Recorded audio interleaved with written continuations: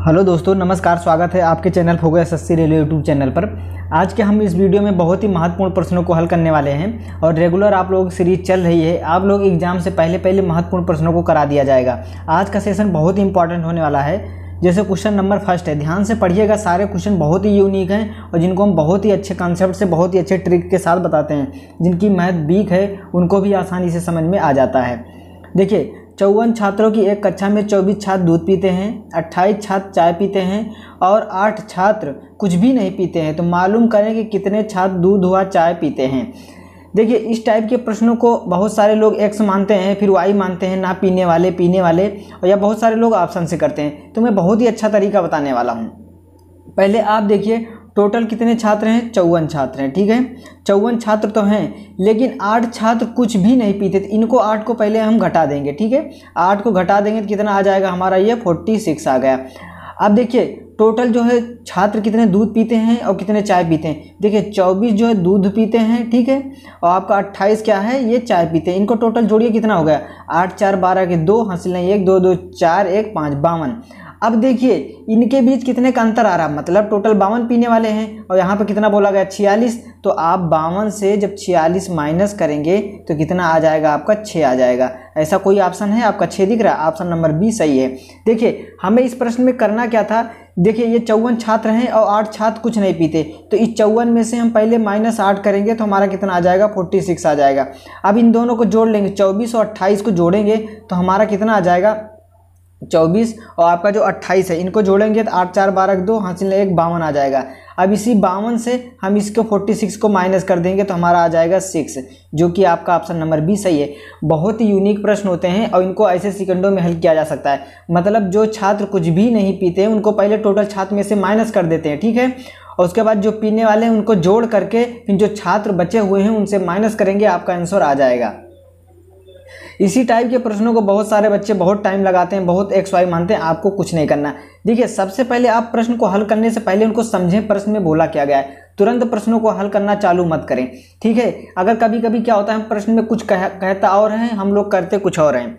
और आप लोग लिए बहुत ही इंपॉर्टेंट कराया हूँ आप लोग जितने लोग भी नए हैं ठीक है? वो लोग पूरा प्ले लिस्ट का लिंक नीचे दिया गया पूरा वीडियो आल देख लीजिए ठीक है? जितने पूरे वीडियो हैं आप लोग देख लेंगे बहुत ही आप लोग लिए हेल्पफुल होगा। क्योंकि आपकी मैथ की कवर हो गया होगा, आपका बेसिक भी तैयार हो गया होगा, लेकिन अगर आप लोग ये चीज़ें पढ़ लेते हैं प्रीवियस पेपर तो आपको बहुत फ़ायदा होने वाला है। देखिए, वह कौन सी संख्या, तीन अंकों की सबसे बड़ी संख्या है जो पंद्रह, पच्चीस, तीस से पूरी तरह विभाजित है? अब देखिए, इसमें बहुत सिंपल सा तरीका है। आप लोगों को कुछ नहीं करना, देखिए, पंद्रह, पच्चीस और तीस का एलसीएम लेना है। अब देखिए, मुझे पता है इसका एलसीएम कितना आ जाएगा? 150 अब बोलेंगे 150 कैसे आएगा? तो जो बड़ी वाली संख्या रहती है, उसका पहाड़ा पढ़ते हैं और तब तक पहाड़ा पढ़ते हैं। एक ट्रिक बता रहा हूँ, जो बड़ी वाली संख्या रहती है, उसका पहाड़ा पढ़ते हैं और तब तक पढ़ते हैं जब तक तीनों से विभाजित ना हो जाए। जैसे पच्चीस है, पच्चीस दूना पचास करेंगे, फिर पचहत्तर करेंगे, सौ हो जाएगा पच्चीस सौ का, फिर पच्चीस पंचे एक सौ पचास होगा। तो एक सौ पचास इसका जो एलसीएम आएगा तो आप देखिए, एलसीएम पंद्रह से भी तीस से विभाजित है। एलसीएम कितना आ गया? इन तीनों का एक सौ पचास आ गया। अब हम ऑप्शन की मदद लेंगे। जो ऑप्शन 150 से पूरी तरह विभाजित हो जाएगा, वही आंसर है। तो देखिए ऑप्शन नंबर ए अगर 900 को 15 से भाग करेंगे तो ये पूरी तरह विभाजित होगा मतलब 900 को अगर हम 15 से भाग करेंगे 150 से तो ज़ीरो ज़ीरो, पंद्रह, छक्का, नब्बे। आपका ये ऑप्शन नंबर ए सही है। और किसी को भी विभाजित करके देख लीजिए, एक सौ पचास से पूरी तरह विभाजित नहीं होगा। ये आपका तरीका हो गया।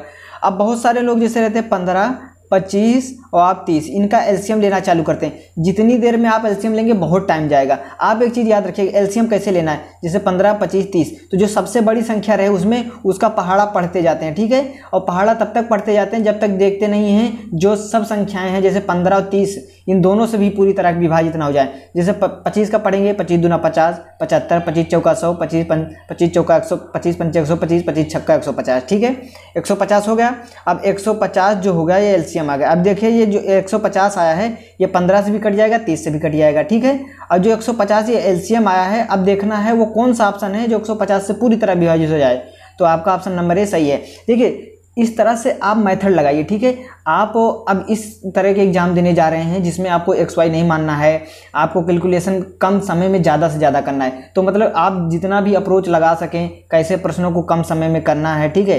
कैसे हम कम समय में ज़्यादा से ज़्यादा प्रश्नों को अटैम्प करें, ठीक है? कैसे हम अपना टाइम मैनेजमेंट करें, ये चीज़ें आपको देखना है, ठीक है? ये चीज़ें अगर आप देख लेते हैं तो आपकी मैथ बहुत अच्छी रहती है, आप प्रैक्टिस भी करते हैं, बस आपका टाइम मैनेजमेंट नहीं रह पाता है। तो आप लोग कैसे होगा टाइम मैनेजमेंट आप लोगों के प्रैक्टिस पे डिपेंड करेगा, ठीक है? आप लोग जितना, ठीक है, जितना प्रैक्टिस करेंगे, उतना ही आप लोगों के ऊपर ये डिपेंड रहेगा।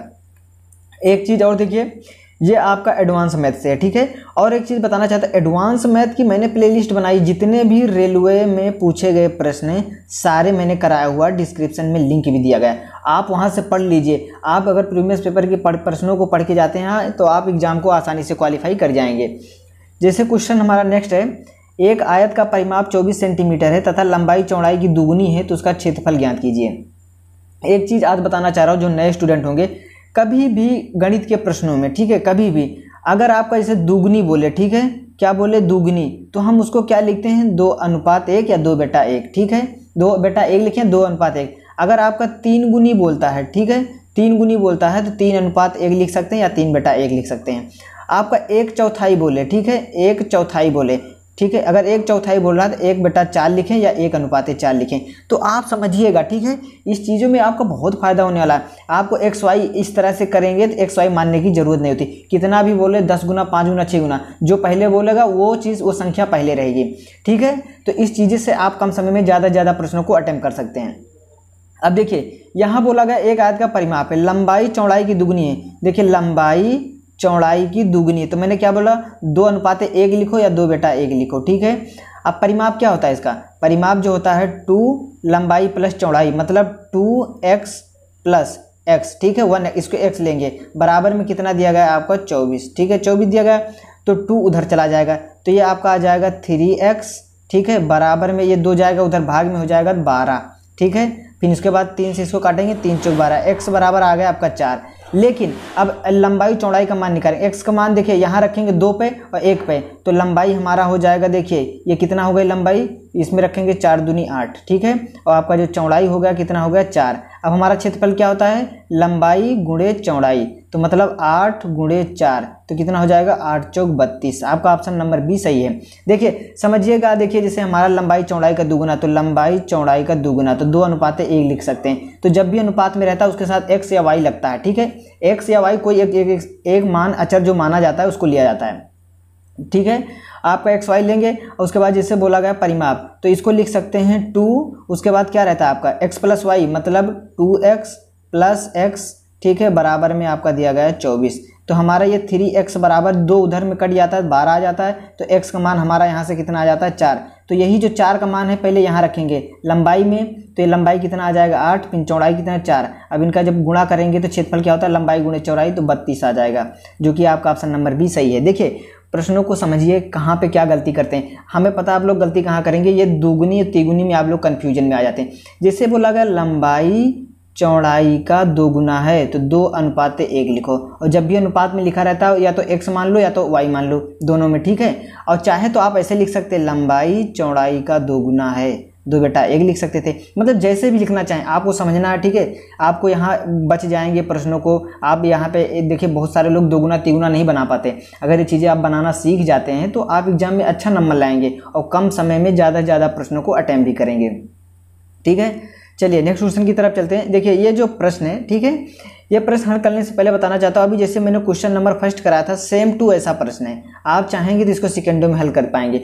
लेकिन इस टाइप के प्रश्नों को बहुत कम लोग बच्चे प्रैक्टिस करते हैं तो इस टाइप के प्रश्नों में आपके प्रीवियस पेपर में पूछा जाता है पूछा गया है तो इसलिए मैं करा दे रहा हूँ तो आपकी एक्सपीरियंस लगे कि कैसा प्रश्न पूछा जाता है। देखिए, पचास व्यक्तियों के एक कार्यालय में अट्ठारह लोग अपने दाएँ हाथ से लिख सक लिखते हैं, ठीक है? छब्बीस लोग अपने बाएँ हाथ से लिखते हैं। और दो अपने दोनों हाथ से लिख सकते हैं। कितने लोग ऐसे हैं जो नहीं लिख सकते पिछले वाले प्रश्न में क्या बोला गया जो क्वेश्चन नंबर फ़र्स्ट था, उसमें क्या बोला गया था? कितने लोग लिख सकते हैं, ठीक है? इसमें बोला कितने लोग नहीं लिख सकते हैं। तो इसमें बस यही अंतर बोला गया है। और दोस्तों, आप लोगों के लिए बहुत ही प्रीवियस पेपर के इंपॉर्टेंट प्रश्न करा रहा हूँ, ठीक है? जितने भी पूछे गए हैं, आपके 2013-14 में या आरआरसी ग्रुप डी और मिक्स करके कभी कभी मैं उन प्रश्नों को भी करा लेता हूँ जो हाई लेवल के रहते हैं। ग्रुप डी 2018 में भी पूछे गए थे, ठीक है? बस आप लोग एक चीज़ करा करिए, वीडियो को शेयर ज़रूर करा करिए, क्योंकि आप लोग लिए बहुत ही महत्वपूर्ण क्लास को लेके आता हूँ और बहुत ही अच्छे तरीके से समझाता हूँ। इतने इंपॉर्टेंट प्रश्नों को लाता हूँ, अगर आप प्रैक्टिस अच्छे से कर लेते हैं तो इस बार आप लोगों को सिलेक्शन ज़रूर हो जाएगा, ठीक है? इस बार आप लोगों का सिलेक्शन हंड्रेड होने वाला है। देखिए, पचास व्यक्ति हैं, ठीक है? अब देखिए, ये होंगे हमारे टोटल पचास व्यक्ति, इधर रख देते हैं। और ये बोला अट्ठारह लोग दाएँ हाथ से, छब्बीस लोग बाएँ हाथ से। तो जो बाएँ, ठीक है आपका लेफ़्ट और राइट जोड़ दिया गया, ठीक है? अट्ठारह और छब्बीस, इनको पहले जोड़ लीजिए, ठीक है? आपका दाएँ राइट और लेफ़्ट ठीक है? बाएँ, ठीक है? इनका जोड़ लीजिए, कितना हो जाएगा? आठ छः चौदह, चार, हासिल नहीं, एक, दो तीन, चार, चौवालीस। और ये जो लिखा गया है और दो अपने दोनों हाथों से लिख सकते हैं। तो मतलब इन्हीं दो को हम क्या करेंगे ये दोनों इस पचास में शामिल हो जाएँगे क्योंकि ये दोनों हाथों से लिख, लिख ले रहे हैं। तो टोटल व्यक्तियों में शामिल हो जाएँगे बावन। अब इसी बावन से हम चौवालीस को माइनस कर दें तो कितना आ जाएगा? बावन को चौवालीस से माइनस करेंगे तो आठ आएगा। आठ को ये ऑप्शन दिख रहा है आपका। आपका ऑप्शन नंबर ए सही है। देखिए समझिएगा वहाँ पे हमने क्या किया था? बावन जैसे टोटल था उसमें से माइनस किया था ठीक है? और यहाँ पे हमने क्यों जोड़ा? क्योंकि ये दोनों हाथों से लिख सकते हैं। अगर ये बोला होता नहीं लिख सकते तो हम माइनस करते लेकिन ये बोला गया है, दोनों हाथों से लिख सकते हैं। समझिएगा, फिर से। देखिए, पचास व्यक्ति हैं, ठीक है? पचास व्यक्त हैं, और इसमें बोला गया है, देखिए, अट्ठारह व्यक्त आपका क्या है? दाएँ से लिखते हैं राइट से। ठीक है? छब्बीस लोग आपके बाएँ से लिखते हैं। ये टोटल कितने लिख लेते हैं? चौवालीस। और ये जो दो हैं क्या करते हैं? दो जो हैं, दोनों हाथों से मतलब मिक्स हैं लेफ़्ट और राइट दोनों से लिख सकते हैं। तो मतलब हमें आ रहा है ये टोटल कितने हो गए? बावन छात्र हो गए। अब देखिए, जो लेफ़्ट और राइट से लिख रहे हैं, उनका हम देखेंगे कितने का अंतर आ रहा है, जो नहीं मतलब कैसे कितने लोग हैं जो नहीं लिख पाते। तो कितना आ रहा है? आठ का आ रहा है। तो मतलब आठ ऐसे लोग हैं जो नहीं लिख सकते हैं। आपका ऑप्शन नंबर ए सही है। देखिए, प्रश्न को समझिए। मैं यही कहता हूँ, प्रश्न कोई भी प्रश्न हो, ठीक है? आपका एनी मतलब कोई भी प्रश्न हो, कोई भी कितना बड़ा हो, आप एक चीज़ समझिए। उसको पहले ध्यान से समझिए। उस वीडियो को आप वहीं पे पाउज कर दीजिए, ठीक है? प्रश्नों को ध्यान से पढ़िए। नहीं समझ में आता है तो फिर वीडियो को आप मतलब प्ले करिए, फिर से देखिए। मतलब ये करिए, और एक बार, सिर्फ़ एक बार आपको प्रश्न अच्छे से समझ में आ गया तो सौ परसेंट कहता हूँ, एग्ज़ाम देकर भी आएँगे तो आप कभी भी, आप जब तक कंपटीशन की तैयारी करेंगे, प्रश्नों को नहीं भूल सकते। हैं ये आपका तरीका होता है, ठीक है? ऐसे करिए, ऐसे अप्रोच लगाइए, ताकि आप अच्छे से नंबरों को कर पाएँ। आओ, आपकी प्रैक्टिस मेन मायने रखती है। लेकिन दोस्तों, मैं बताना चाहता हूँ, आप लोगों के लिए बहुत ही इंपॉर्टेंट क्लास लाता हूँ। प्लीज़ कम से कम दो या तीन लोग जो शेयर करते हैं और बहुत सारे लोग नहीं शेयर करते। जितने भी लोग देखते हैं प्लीज़ आप लोग शेयर ज़रूर करा करिए, क्योंकि आप लोगों लिए बहुत ही अच्छा कंटेंट ला रहा हूँ। इसमें से तीन चार स्टूडेंट हैं जो शेयर करते हैं कमेंट करते हैं। चलिए नेक्स्ट क्वेश्चन की तरफ़ चलते हैं। एक घड़ी की एम आर पी चार हज़ार सात सौ पचास रुपये है, तथा उसकी बिक्री बारह परसेंट की छूट दी जाती है। यदि दुकानदार ने उस घड़ी को तीन हज़ार आठ सौ पचास रुपये में ख़रीदा तो उसका लाभ कितना होगा? अब देखिए, ये प्रश्न आपका बहुत इंपॉर्टेंट प्रश्न है, ठीक है? इस प्रश्न को समझना बहुत ज़रूरी है। ये एम मतलब क्या होता है? इसको हम बोल सकते हैं अंकित मूल, ठीक है? एमआरपी को क्या बोल सकते हैं? अंकित मूल भी बोल सकते हैं। देखिए, आपका अंकित मूल, आपका विक्रय मूल और क्रय मूल पे मिक्स प्रश्न बनते हैं। और मैंने बहुत सारे वीडियो भी कराया हुआ है। जो लोग नए हैं, उनको भी समझ में आ जाएगा, मैं कैसे बताता हूँ बिना कोई, आपको ऐसा नहीं बताता हूँ कि एक्स वाई मानना पड़े, जिससे आपको बहुत दिक्कत हो। प्रीवियस पेपर के प्रश्नों को मैं इतने अच्छे लेवल से करा देता हूँ कि आप एग्ज़ाम में जाएँगे तो अच्छा नंबर करने वाले हैं। जैसे ये प्रश्न है, इसमें देखा, इसका एम आर पी दे, लेकिन बारह परसेंट की छूट तो सौ पे जब बारह परसेंट की छूट हो जाएगी, कितना हो जाएगा? आपका अट्ठासी हो जाएगा, ठीक है? ये हमारा क्या दिया गया? खरीदा क्रय मूल्य तो हम पहले विक्रय मूल्य निकाले तो पता चल जाएगा लाभ कितने को रहा। तो कैसे निकालेंगे? चार हज़ार सात सौ पचास। ठीक है गुड़े तो हमारा क्या करेंगे? यहाँ पर अट्ठासी लिखेंगे। क्योंकि हम अंकित मूल से कोई भी चीज़ निकालेंगे तो हमेशा कम ही आएगा। अंकित मूल हमेशा ज़्यादा होता है। तो कम लाना है तो कम वाला मान ऊपर रखेंगे मतलब अट्ठासी ऊपर रखेंगे। ज़ीरो से ज़ीरो काटेंगे, ठीक है? पाँच से काटिए इसको। पाँच नवा पैंतालीस। ठीक है, पाँच नवा पैंतालीस हो जाएगा। आपका फिर कितना बचेगा? आपका यहाँ पैंतालीस, दो बचेगा पचास हम पच्चीस। फिर पाँच दूनी दस। इसको दो से काटिए, दो चौको आठ, दो चौको आठ। मतलब आपका कितना आ गया? पंचानबे गुड़े चौवालीस। आप इसको गुणा करिए, पाँच चौक बीस, कितना आ जाएगा आपका ये बीस? आपका टोटल आ जाएगा ये, यहाँ पे चार हज़ार एक सौ अस्सी आ गया। लेकिन चार हज़ार एक सौ अस्सी आया, ये आपका क्या आया? विक्रय मूल्य है और क्रय कितने में खरीदा था? तीन हज़ार आठ सौ पचास में। तो आप इसको माइनस कर दीजिए, बात खत्म हो जाएगा। तीन हज़ार आठ सौ पचास से माइनस करेंगे। आपका कितना आ जाएगा? ज़ीरो। और आठ में से पाँच जाएगा तीन। ठीक है? फिर उसके बाद कितना बचेगा? तीन। तीन सौ तीस। ऐसा कोई ऑप्शन दिख रहा है? तो आपका ऑप्शन नंबर डी सही है। समझिएगा, बहुत सारे लोगों को नहीं समझ में आता। देखिए, सौ पे छूट देंगे तो कितना हो जाएगा? अट्ठासी मतलब सौ से हमारा कितना होगा? अट्ठासी हो गया। तो यहाँ पे चार हज़ार सात सौ पचास को हम क्या करेंगे? पहले हम इसका क्या निकालेंगे? विक्रय मूल्य। तो कम मान लाने के लिए कम वाली संख्या ऊपर रखते हैं। ज़ीरो से ज़ीरो कटेगा। इसको पूरा काटेंगे तो कितना आ जाएगा आपका? यहाँ जाएगा पंचानवे ठीक है? और यहाँ जो आपका कट किया था चौवालीस। देखिए, इसको पूरा कट पिट के पंचानवे गुणे चौवालीस करेंगे तो आ जाएगा चार हज़ार एक सौ अस्सी आ गया। चार हज़ार जो एक सौ अस्सी आया है, ये हमारा क्या है? विक्रय मूल्य है, ये क्रय मूल्य है तो अब लाभ हान कैसे पता चलता है? विक्रय मूल्य ठीक है? विक्रय मूल्य माइनस क्रय मूल्य ठीक है? लाभ हान हम ऐसे पता करते हैं। तो चार हज़ार एक सौ अस्सी में से, ठीक है? कितना है हमारा आया? चार हज़ार एक सौ अस्सी में से तीन हज़ार आठ सौ पचास को माइनस करेंगे ज़ीरो तीन ग्यारह में से आठ जाएगा, तीन तीन सौ तीस, आपका ऑप्शन नंबर डी सही है। प्रश्न को समझिए, क्योंकि इस पर मिक्स क्वेश्चन बनते हैं दोस्तों। मैं बहुत कोशिश कर रहा हूँ, किसी भी हर हाल में, बस आप लोग इसको समझिए। नहीं समझ में आता है तो प्लीज़ आप प्रश्नों को नोट करें, या तो आप लोग इसको स्क्रीनशॉट लेके रख लें। दिन भर में एक दो बार देखेंगे, आसानी से समझ में आ जाएगा। आप लोगों के लिए बहुत ही ऐसे प्रश्नों को लेके आता रहता हूँ, हमेशा लाता रहूँगा। बस आप लोग अपना भी सपोर्ट बनाइएगा, क्योंकि आप लोगों के एग्ज़ाम से पहले पहले मैं कोशिश कर रहा हूँ कि जो इंपॉर्टेंट इंपॉर्टेंट प्रश्न हैं, जो यूनिक हैं, इतना नहीं कि इतने इजी भी हैं, उनको करा दूँ, ठीक है? और आप में से बहुत सारे लोग अभी बोलना है कि बहुत आलसी टाइप के हैं मतलब कि वो, मैं अगर होमवर्क का भी प्रश्न देता हूँ तो वो उसका कमेंट भी नहीं करते, जैसे इतने लोग देखते हैं। मतलब आप लोग इतने लेजी होते जा रहे हैं तो आप बताइए सिर्फ़ कमेंट करने में क्या जाता है? मैं बता भी देता हूँ कि जैसे इसका ऑप्शन नंबर ए सही है। मैं ये जानने की कोशिश करता हूँ कितने लोग एक्टिव हैं। मतलब इतना भी नहीं कि वो सिर्फ़ ये टाइप कर सकते हैं कि कमेंट में जा करके टाइप करें, इसका आंसर नंबर ए सिर्फ़ ए करके छोड़ दें। मैं ये जानने की कोशिश करता हूँ कितने लोग एक्टिव हैं। और बहुत सारे लोग देखते हैं, बस देख के बाद सीधे ऐसे निकल जाते हैं, ठीक है? उनसे कोई मतलब नहीं क्लास कैसी हुई, कैसे नहीं हुई। तो मैं यही चीज़ बताना चाहता हूँ, ठीक है? आप लोग जैसे मैं ये आज होमवर्क का प्रश्न दे रहा हूँ तो देखता हूँ कितने लोग कमेंट करते हैं। जैसे कि इसका आंसर ए है, ये भी नहीं कहता मैं तुम सोल्यूशन करो, ठीक है? मैं ये भी नहीं करता, तुम इसका सोल्यूशन मुझे बताओ कैसे कैसे लगेगा। सिर्फ़ मैं ये कहता हूँ, सिर्फ़ आप लोग कमेंट करो। मैं ये देखना चाहता हूँ, आप अपने काम के लिए कितना एक्टिव हैं, ठीक है? जब मैं आप लोग लिए इतनी बड़ी क्लास ले सकता हूँ, महत्वपूर्ण प्रश्नों को हल करा सकता हूँ, फिर वीडियो को एडिट कर सकता हूँ वीडियो को अपलोड कर सकता हूँ, कितना टाइम लगता है। सिर्फ़ आप लोग एक कमेंट करिए, इसका ऑप्शन नंबर ए सही है।